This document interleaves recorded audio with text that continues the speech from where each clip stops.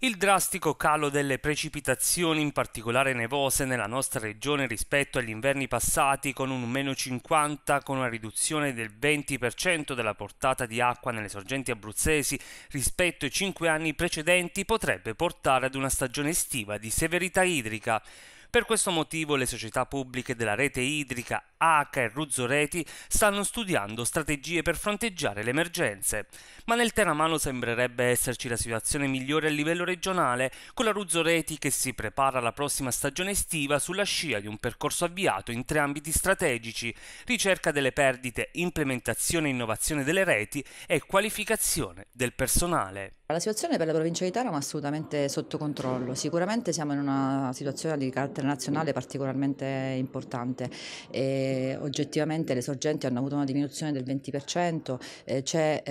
le, le, le, le, precipitazioni sono sempre meno anche, sia piovose che nevose, però devo dire che qui alla Rozzureti nella provincia di Teramo con gli investimenti fatti negli ultimi tre anni la situazione, ripeto, è ampiamente sotto controllo per il momento. Inoltre, dando seguito all'indirizzo di soccorso idrico dell'ERSI e della Regione Abruzzo, è stato avviato il potenziamento dell'impianto potabilizzatore dell'acqua di Montorio Alvomano per allargare il servizio di distribuzione anche a Chieti e Pescara. Entro due anni diventerà il primo impianto idrico interprovinciale. La Regione Abruzzo infatti ha destinato un fondo di 55 milioni di euro per potenziare l'impianto. Inoltre il controllo della rete idrica per il contenimento delle perdite rimane una pratica primaria per combattere la carenza d'acqua. Noi abbiamo investito moltissimo sulla manutenzione delle reti, quindi oggi abbiamo una dispersione idrica eh, molto molto al di sotto della media nazionale che è del 47%, la nostra invece è intorno al 20%, quindi già questo ha aiutato tantissimo. Abbiamo messo in campo una tecnologia satellitare per eh, l'individuazione delle perdite sul territorio